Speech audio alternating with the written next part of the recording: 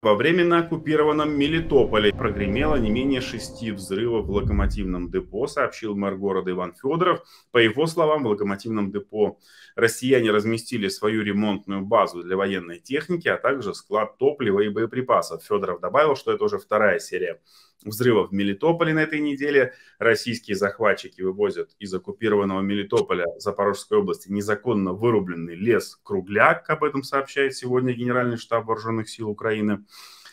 О Мелитополе говорят много, стратегически он важен, находится он на вот этом пешеходном переходе от России и оккупированной части Донбасса в Крым. И, конечно, вот этот э, ну, вот эта часть э, вот этого пешеходного перехода стратегически важна. После того, как он будет деоккупирован, там уже будет вообще другой разговор. Дмитрий, что по вашей информации происходит в Мелитополе, чего ожидать? У меня информация ровно такая же, как у вас. Э, Все понятно всем и нашим врагам тоже. Э, мы наносим удары по критической инфраструктуре врага, как на территории э, Запорожской области, так и на территории Крыма, на территории Донбасса, э, там, где э, оккупирована территория временно, по живой силе врага, по технике врага, по логистике врага. Джанкой, например, разбомбленный вокзал, это логистика, это очень важный узел железнодорожный. Здесь не надо быть семи пядей во лбу, чтобы понимать, э, что будет дальше. Э, удары по логистике, по технике, по живой силе и затем наступление. Э, поэтому, вы знаете, мне, мне очень нравится Данилов. Он, конечно, тролль высочайшего класса. Высочайшего. Я думал, что я высочайшего класса тролль, но я пока еще ему проигрываю в этом. Он их троллит нещадно. Хорошее чувство юмора у него. А, он сейчас опубликовал э, значит, список из 12 первостепенных шагов. Давайте обсудим. Да, это приятно читать, что он пишет. Давайте обсудим. Давайте. Я тогда читаю причем, пункт. Причем это все логично, то, что он пишет. Я читаю пункт, а вы комментируете. Давайте. Я читаю второй, вы комментируете. Итак, первый пункт. На общественное обсуждение будут вынесены вопросы по проекту и местоположению в Крыму памятника «Русский военный корабль» идет в целях экономии государственных средств может быть использован пьедестал памятника затопленным кораблям в Севастополе. Ну, прекрасно, прекрасно. Инициатива то, что надо. Э, второй пункт. Кроме уголовного преследования за коллаборационизм и госизмену, разрабатывается иллюстрационный механизм персональной оценки, которым, в частности, определяется уровень ответственности и степень привлечения конкретных лиц, граждан Украины, жителей Крыма к поддержке деятельности оккупационных администраций, что предусматривает ограничение прав участия в выборах, избирать и быть избранными. Василий Владимирович, да, абсолютно поддерживаю. Обратите внимание, я сейчас буду не раз об этом говорить. Это то, что мы с вами говорили из эфира в эфир. Вот это, в частности это. Дальше идем. Третий пункт.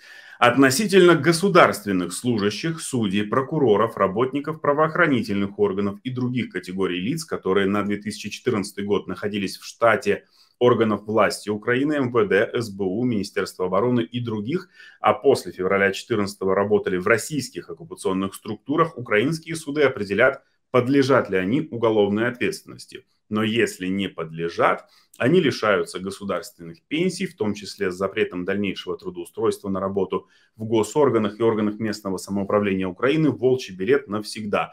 Кроме того, представление, предоставление силам обороны Украины и следствию важной информации, касающейся вопросов национальной безопасности, может стать основанием для смягчения уголовного наказания. Ну, прекрасно. Ну, прекрасно. Прекрасно все от первой буквы от А до Я. А, я, я вообще говорю, я же все время говорил в наших эфирах, кто там в Крыму, русские, которые приехали туда после 2014 года, валите сразу, уже валите. Чем быстрее, тем лучше. Я говорил о том, Данилов это ж пишет, но я это говорил, вы же не дадите мне соврать. Конечно. В Ютубе. Я говорил о том, что все нормативные акты, э, нотариальные, все, что там покупалось, недвижимость, недвижимость, все, что в Крыму совершались сделки после 2014 года, не является законным по законам нашей страны. Поэтому все это будет отобрано, пересмотрено прежним владельцам, будет возвращено все то, что было в их собственности. Но Данилов все это пишет. Э, продолжить? Да, это интересно, это интересно. Э, следующий пункт. Россия или иное формирование, которое будет претендовать на право преемства, обеспечивает безусловную и полную выдачу всех подозреваемых в государственной измене и других уголовных преступлениях лиц, как граждан Украины, так и граждан России, причастных к военным преступлениям, международным преступлениям, не имеющие сроков давности, геноцид, военный и против человечества, совершенных на территории нашего государства в целом и в частности. Замечательно. Смотрите, начинает Данилов так с легкого троллинга, а, да, а потом переходит к реальным серьезным вопросам. Да, да, да, да. Пятый пункт. Пропагандисты, журналисты, медийщики и разного рода эксперты, способствующие оккупации, милитаризации, детского воспитания и разжигания вражды против Украины – украинцев, крымских татар и других национальностей, группа особого внимания, преступления которых будут расследованы украинскими, а при необходимости международными правоохранительными структурами. Законно по приговору суда будут лишены свободы, званий, пенсионного обеспечения, имущества, чести и уважения, констатировал Данилов. Да, да, все правильно, не убавить, не прибавить. Граждане Российской Федерации, незаконно приехавшие проживать на Крымском полуострове после февраля 2014 года, должны немедленно покинуть территорию Украины в определенный законом срок. Да, я же говорю, бегите быстрее. Идиоты будут оставаться, умные будут уже тихонько улепетывать. Ну, все, все предельно просто. Мы же об этом говорили сколько раз.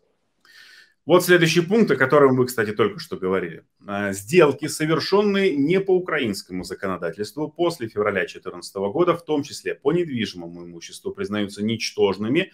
Закон, действующий уже 9 лет. Право собственности на имущество остается за гражданами Украины, если имущество присвоено или национализировано оккупантами, оно возвращается владельцам. Важно помнить, дома, квартиры, земельные участки и другая недвижимость, приобретенная гражданами России в Крыму, достойны не более чем будущего Аксенова или надежды на выход Константинова и подобного коллаборантского хлама по условно-досрочному увольнению. Прекрасно.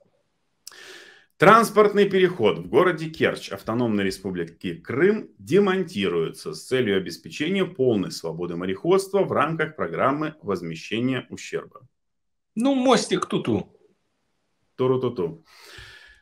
Реализуется комплексная программа детоксикация, нейтрализация последствий многолетнего действия российской пропаганды на общественное сознание. Части населения полуострова, в частности, используя опыт, опыт применения действенных методов денацификации Германии в 40-х годах, среди которых участие, выявление групп активной поддержки российской оккупации в общественных работах по восстановлению разрушенных украинских городов, в процессах эксгумации и перезахоронения жертв российской агрессии для лиц, признанных виновными в таких преступлениях судом. Предоставление максимально широкого доступа к информации о преступлениях путинского режима. Прекрасно. Прекрасно. Так, еще три пункта осталось, давайте по да, ним тоже. Да, бежим. это интересно, это очень интересно. Десятый пункт. Создание документальной базы фактов российских преступлений против украинских граждан, сопротивляющихся оккупации, восстановление права Украин... Э, восстановление в правах украинских и крымско-татарских активистов. Да. Одиннадцатый пункт. Немедленное освобождение всех граждан Украины, крымских татар, украинцев, преследуемых Россией по политическим мотивированным признакам с 2014 года с возмещением нанесенного морального ущерба. Да. И еще один пункт, 12 учитывая место и роль в идеологии расизма, системе негативного мифообразования и переписывания истории, так называемый в кавычках город русской славы, имеется в виду Севастополь, переименовывается в, в кавычках объект номер 6. Верховная Рада Украины позже, возможно, примет решение о новом названии города, возможно, Ахтиар, предлагает Данилов. Ну, Данилов прекрасен. Слушайте, он мне повышает настроение, я вам честно скажу. Он э, и серьезные вещи говорит, и хорошие вещи, и троллит очень тонко. Ну, чувство юмора есть. Молодец. Нравится мне.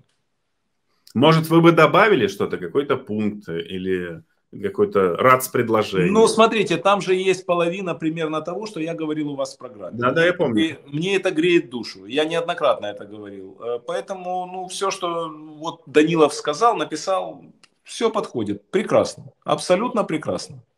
Дорогие друзья, у вас есть возможность, самое время сейчас задать свой вопрос Дмитрию Гордону. Один из вопросов был, я его уже видел, много раз повторялся, как вы относитесь к позиции Армении, которая, с одной стороны, хочет ратифицировать Римский статут, а с другой стороны говорит, что арестовывать, задерживать Путина они не собираются?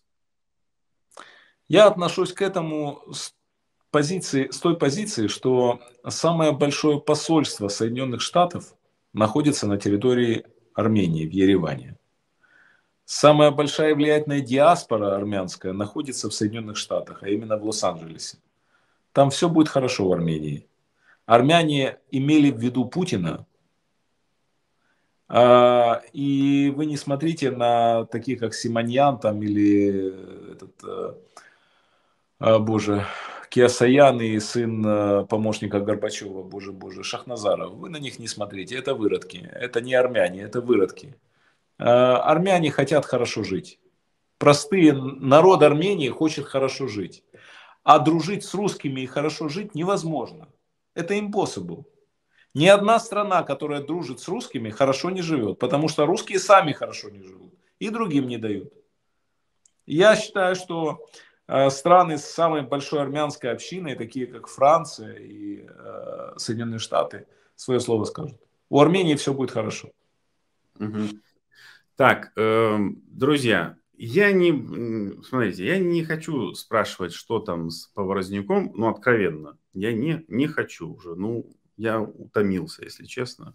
В каждой программе. Уже у меня аллергия э, немножко. Да, и давайте о нем не говорить. Я о нем скажу через несколько недель уже будет финиш. Там еще будет несколько программ, а потом финиш будет э, такой, что больше уже говорить не о чем будет. Поэтому как, все нормально.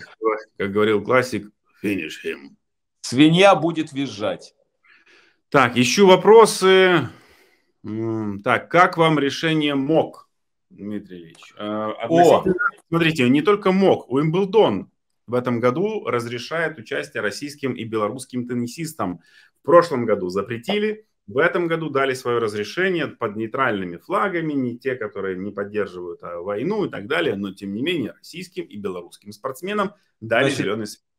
Меня это искренне возмущает. Искренне. Я считаю, что Бах, который себе позволяет, это президент мог подобные вещи, это вообще такой же русский шпион, наверное, как и Шлёдер. Это скотина. Я говорю, президент мог Бах, скотина, в условиях войны России с Украиной еще российских и белорусских спортсменов на соревнования допускать. Значит, мое мнение, украинские спортсмены и спортсмены всего цивилизованного мира должны бойкотировать все соревнования, где эти собаки попробуют протащить русских и белорусов. Все, точка. У меня нет другого варианта. Даниил спрашивает, что вы думаете про Корчевникова? Ну, больной на голову, шизик. Во-первых, э, он шизик. Во-вторых, больной на голову. В-третьих, идиот безголовый, тупоголовый. Э, таких, когда Россия берет таких пропагандистов, даже стыдно за Россию, потому что он же визжит, как свинья недорезанная. Посмотрите на него, что он несет. И в каком виде он это подает. Ну, даже не смешно. Ну, вообще не смешно, не интересен. Э, по поводу того же Лукашенко, вот еще много вопросов в комментариях. Э, вот это его там четырехчасовое общение. Причем вопросы вот от э, там политзаключенных до ЛГБТ, там ну, про ЛГБТ я вообще молчу, это его заявление, там, какое-то на голову не налазит.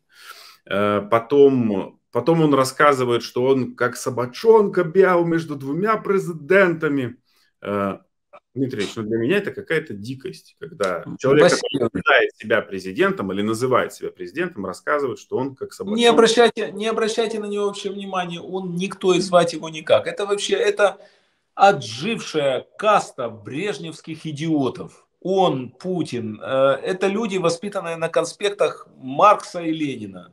Что вы от них хотите? Это искореженные тупые мозги. Это советские люди, которые им надо уже дать спокойно уйти в мир иной, а некоторым неспокойно, таким как Путин и Лукашенко. Это отжившее поколение тупых людей, которые не понимают, что такое счастье, что такое базовые понятия, что такое демократия, что такое свобода. Это люди, это выродки, это идиоты. Если человек не может понять, что Северная Корея это плохо, а Южная Корея это хорошо, если человек не может понять, что Беларусь это плохо, а Эстония это хорошо, он идиот. Что нам о них говорить? А то, что Лукашенко так долго разговаривает со своими педлеглами, говорит только о том, что он тестирует э, состояние их желчных пузырей и мочевых пузырей. Во, мочевых пузырей. Угу. Думаю, что некоторые под себя ходят. Причем не от страха, а от того, что он долго выступает. Прямо в зале. Мы желаем здоровья и скорейшего выздоровления Дмитрию Гордону. Дмитрий Ильич, сил Спасибо. вам и... Спасибо. Спасибо. А нам всем победы, скорейшей победы. Спасибо. Скорейшей победы. Ну и, э, конечно же, все будет Украина. Дорогие зрители, берегите себя и близких. Дмитрий, слава Украине. Героям слава, Василий. Спасибо.